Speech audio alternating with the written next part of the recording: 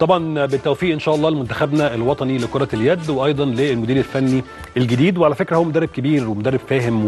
وكمان مخرج يعني أجيال من تحت إيديه حتى آه، في المجال التدريبي يعني.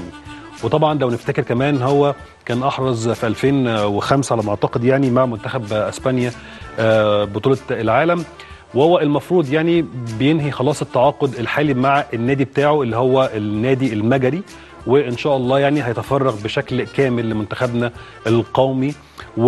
وعلى فكرة هم يعني بيلقبوه كده ب... بلقب الأستاذ يعني. ايا كان بقى الألقاب إيه أنا بالنسبة لي أهم حاجة النتائج.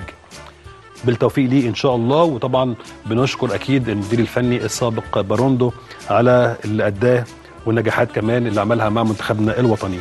طيب آه لسه برضو بنكمل معاكم مع اليد ولكن بقى مع إيه مع الفريق الأول. للسيدات. الفريق الأول آه، لسيدات كرة اليد بالنادي الأهلي. طبعا ده كمان بقيادة مديره الفني الكابتن محمد عادل.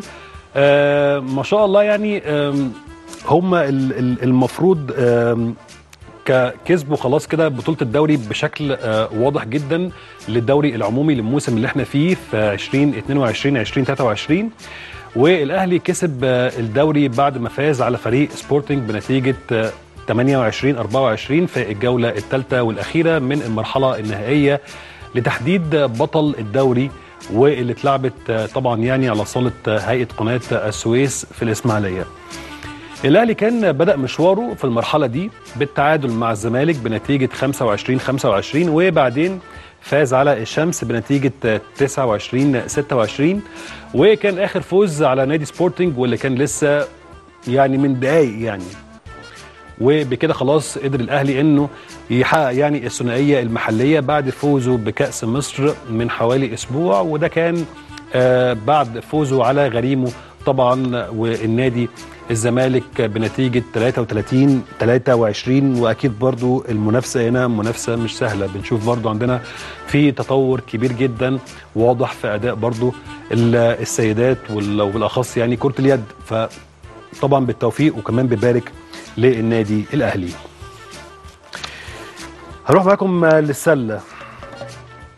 الفريق الأول لرجال كرة السلة بالنادي الأهلي طبعا ده كمان بقيادة مديره الفني الأسباني أوجستي بوش. آه بيلعب المفروض يعني دلوقتي مع نادي آه سيتي أويلرز الأوغندي في الجولة الثانية من مجموعة النيل لتصفيات بقى بطولة أفريقيا للأندية أبطال الدوري. الماتش خلاص يعتبر يعني آه بدأ من سبعة ونص كده من حوالي ربع ساعة. وده بيتلعب على صالة الدكتور حسن مصطفى في 6 أكتوبر. والأهلي فاز في الجولة الأولى على فريق نادي فيروفيارو الموزمبيقي بنتيجة 74 92 البطولة مشارك فيها ست أندية وهم الأهلي وسيتي أويلرز الأوغندي وبترو دي لواندا الأنجولي وكيب تاون الجنوب أفريقي وسلاك الغيني وفيروفيارو الموزمبيقي. هتأهل منهم أربع فرق بس لنهائيات البطولة دي واللي هتكون الشهر اللي جاي إن شاء الله في رواندا. والأهلي هيلعب إن شاء الله الماتش اللي جاي مع فريق آه، كيب تاون الجنوب أفريقي يوم الثلاث الساعة 8:30 والأهلي بيحلم طبعا بالتتويج بلقب البطولة علشان يكون تاني نادي مصري يحقق يعني اللقب ده إن شاء الله.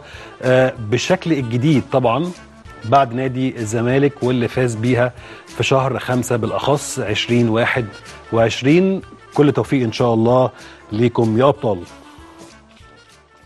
ولسه برضو بنكمل معاكم في الباسكت. لجنة آه، المسابقات بقى بالاتحاد المصري لكرة السلة طبعا برئاسة آه، الأستاذ أحمد كامل. خلاص أعلنت يعني مواعيد ماتشات نهائي بطولة دوري السوبر للموسم اللي إحنا فيه 2022 2023 واللي هتكون إن شاء الله ما بين الاتحاد السكندري والأهلي.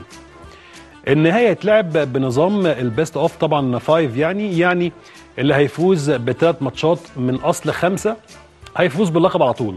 والماتشات هتكون على الصالة الدولية للشباب والرياضة في 6 أكتوبر. الماتش الأولاني هيكون يوم الأربع الساعة 10 بالليل إن شاء الله. آه يوم 10 مايو عفوا الساعة 8 ونص بالليل.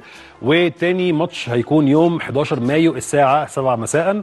أما الماتش الثالث فهيكون يوم 13 مايو الساعة 7 مساء إن شاء الله. والماتش الرابع هيكون يوم 15 مايو برضو الساعة 7 الماتش الخامس لو إحنا بقى يعني جينا نروح بقى ليه هيكون يوم 17 مايو اللي هو هيكون الساعة 7 برضو. والأهلي كان صعد النهائي بعد فوزه على غريمه التقليدي نادي الزمالك. أما الاتحاد السكندري فكان تأهل بعد فوزه على جاره نادي سموحة. الأهلي يعتبر هو حامل لقب البطولة الماضية خلاص بعد فوزه على نظيره الاتحاد السكندري بنتيجة 3 2 في النهائي طبعا اللي كان على يعني على صاله الدكتور حسن مصطفى في 6 أكتوبر. وبرده أكيد ده هيكون أو ده هيكون برده ليه آه شكل خاص وفي قوة في في البطولة وفي المنافسة. لو بنتكلم في في ال best of five يعني أو حتى 3 برضو عندنا في في في ملحمة. في عندنا يعني لأ في شغل كبير جدا بيتم ما بين الأندية وبعضها وبالأخص اللعيبة في الملعب. بنشوف شغل بقى مدربين بنشوف بقى شغل بيطلع على أرض الملعب كده بشكل كبير.